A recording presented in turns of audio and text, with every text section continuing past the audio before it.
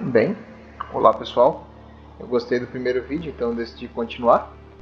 E agora nós vamos falar sobre o universo do 40 mil e eu decidi começar pelo Warp. O que, que é o Warp? O Warp seria uma tradução mais certa como o imaterial. É, o Warp ele é uma dimensão paralela nossa, onde ele existe por causa da nossa dimensão. Um jeito simples de tentar entender seria o mundo invertido do Stranger Things. é, mas o mundo invertido do Stranger Things não, não chega nem perto do imaterial, é, mas é o mesmo conceito. É, é, outra, é outra realidade, outro universo que existe por causa do nosso universo. Mas ele não é uma cópia, uma imagem nosso universo. Ele é uma constante variação de energia, basicamente. Esse seria o conceito mais simples. E eu quero ressaltar que o, o imaterial ele só existe porque o nosso universo existe. Não o nosso universo foi criado por causa dele. Isso é importante para depois. É, e o imaterial, no caso, ele não segue a nossa realidade, as nossas regras, como gravidade, tempo, espaço. Ah, as regras da física não se aplicam no imaterial. E as regras lá elas são modificadas e, e elas se alteram a cada segundo, milissegundo. É, é incrivelmente estranho. É, é como se fosse o próprio universo é uma forma em contínua mudança. E mas existe uma coisa como o imaterial foi criado por nós, as nossas regras e crenças afetam o imaterial. Então ele é obrigado a seguir o que a gente acredita que ele é. é isso vai ficar mais fácil para entender depois. E alguns seres vivos conseguem usar de forma natural os poderes do imaterial. Como assim? É, existem algumas espécies que desenvolveram seria poderes psíquicos, coisas como atrair um objeto, é, alterar a gravidade, modificar a, a massa, a velocidade ou uma matéria. E os seres que mais conseguiam fazer isso foram os que deram origem a quase toda a vida no universo do 40 mil, que são chamados os antigos. Eles merecem um vídeo só deles, então vou fazer um vídeo outro dia só para eles. Mas então, o imaterial é um universo de energia e ele está em contínua mudança. Mas ele é bom? É ruim? Ah, existem coisas nele? Como é que funciona? É, Para citar um dos livros do 40 mil, o imaterial é um oceano, segundo Magnus Vermelho. Ele dizia que é basicamente um oceano de energia e ali a humanidade deveria utilizar essa energia para dominar o universo o Magnus estava errado, mas o conceito que ele quis explicar realmente faz um certo sentido e é uma metáfora boa. Então vou usar o conceito do oceano para tentar explicar. Quando coisas acontecem na natureza, por exemplo, um, cometas chocando, o calor do Sol sendo dividido para os corpos celestes ao redor, é, uma explosão de uma estrela que destruiu vários planetas e formou outros, ou a vida, quando ela nasce, cresce e eventualmente morre, apodrece e transforma-se em outra vida. Tudo isso gera no imaterial pequenas oscilações, pequenas fontes de energia, como se fosse uma gota num oceano. Mas uma gota num oceano não, não causa grande transformação. Então, o que faz o imaterial ficar como caótico, ou seja, várias ondas de energia, seria a crença, o acreditar em algo. Não uma pessoa apenas, mas sim uma coletividade, várias mentes acreditando fielmente em alguma coisa, várias, vários seres vivos morrendo e lutando pelo que eles acreditam, vários seres vivos eh, sangrando por um ritual que eles acreditam que vai mudar alguma coisa. Então, quanto mais seres vivos acreditam em algo fielmente, a ponto às vezes de arriscar a própria existência, isso gera no imaterial uma onda, uma tsunami, uma energia absurda, um desnível de força. não só os seres humanos, mas também o, no caso aqui eu botei uma imagem de Gork e Morgan, que são as crenças dos Pele Verde, os Orcs no caso, Orcs e Goblins. É, tudo isso gera uma certa energia no imaterial. E quanto mais organizado e mais unificado for esse pensamento e crença, mais forte é essa energia. Mas e o que, que essa energia forma no imaterial? Seres vivos. Ela acaba com o tempo, conforme ela vai crescendo e ficando turbulenta, ela cria seres inteligentes, que eles têm um único objetivo: crescer, crescer e consumir. E é isso que eles querem, eles querem mais energia. Então, o que gerou eles? Eles desejam que ela aumente. E é essa a única função e objetivo que elas vivem.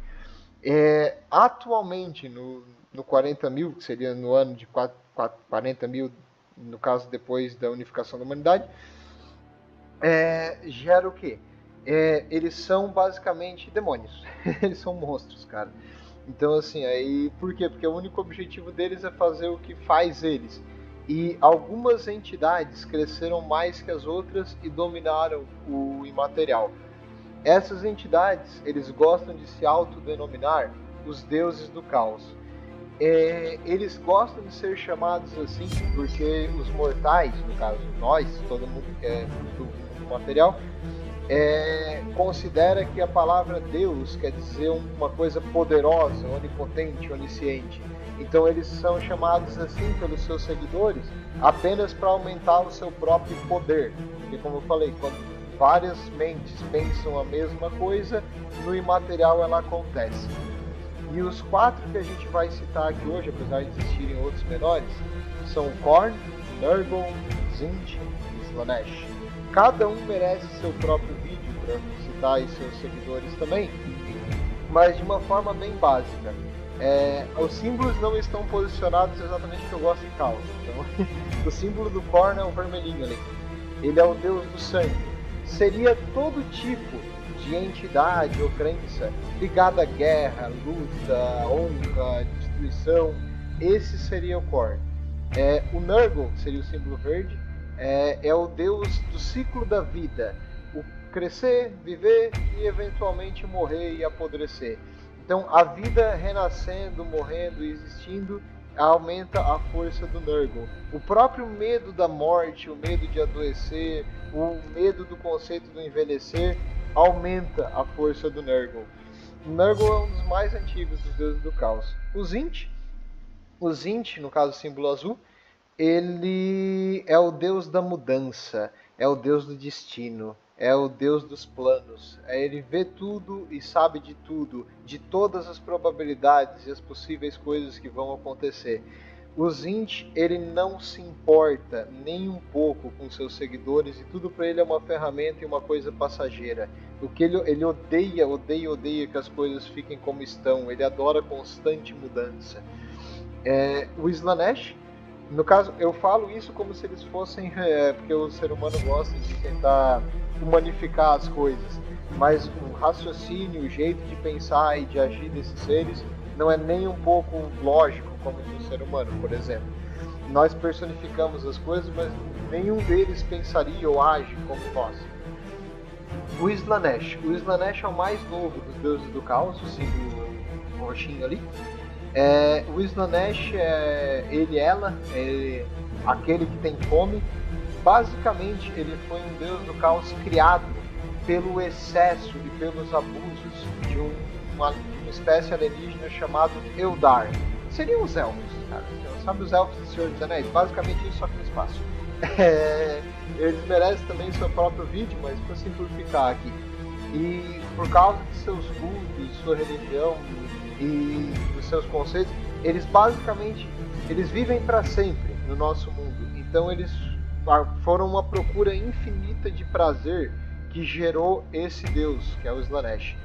Basicamente, o Slanesh devora, devorou as almas da maioria dos Eldar e criou os Dark Eldar, aqueles que seguem ele. Ela, basicamente, é, não, não tem gênero. Então, vamos continuar. E o último símbolo, aquele cinzinha, é o caos não dividido. é para os seguidores que seguem todos os deuses do caos. É, o caos não dividido é quando nas raras ocasiões que eles se unem para fazer algum objetivo, mas esse aí é o caos não dividido, é todos eles juntos num objetivo maior. Existem outros deuses pequenos, mas não vem ao caso, esses são os principais. E no caso, o caos é bom, é ruim. Alguns, é, os Eldar, eles chamam o caos de o grande destruidor. Os Dark Eldar chamam eles de o grande criador, já que eles foram forjados do caos. É, o caos, ele basicamente é o fim da vida, então eu acredito que ele é uma coisa horrível. e o caos, ele tem ele vai basicamente uma explosão, um fogo. Ele vai aumentando, aumentando, aumentando até consumir tudo e quando tudo é destruído, ele desaparece. Quando algum ser vivo cresce demais, o caos basicamente termina ele. Seria o fim da existência.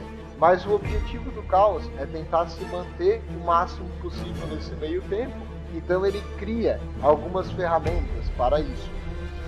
É, no imaterial não existem apenas os seres criados lá, que seriam os demônios, que a gente chamou agora há pouco.